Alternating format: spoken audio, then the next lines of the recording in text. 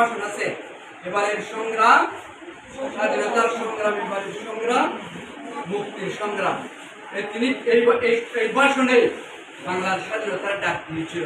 এমন একটা ব্যক্তিকে কি চক্রান্ত করে বাইরে চক্রান্ত এবং ভিতরে পার্টিগত চক্রান্ত এবং আর্মি পার্সনের চক্রান্তে তারা কি করেছিল? এই এমন একটা মানুষকে মানুষ সহ তার পরিবারের অধিকাংশ সদস্য, এরা বর্তমানে যিনি প্রধানমন্ত্রী আছেন, তিনি দেশের বাইরে ছিলেন।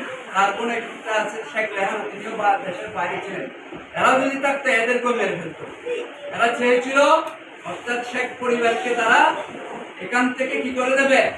বিচ্ছিন্ন করে দেবে, যাতে এদের রক্তের কোনো ব্যক্তি বেঁচে না থাকে। ভবিষ্যতে কোনো শাসন ক্ষমতা আসতে না পারে। কিন্তু উপরে যে একজন আল্লাহ আছেন तिने तर विचार कारण कमा